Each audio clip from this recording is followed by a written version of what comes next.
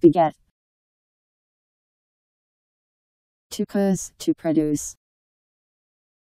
To father rarely, to mother, to sire, to produce a child.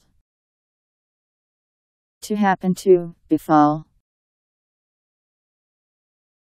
B E G E T. Beget.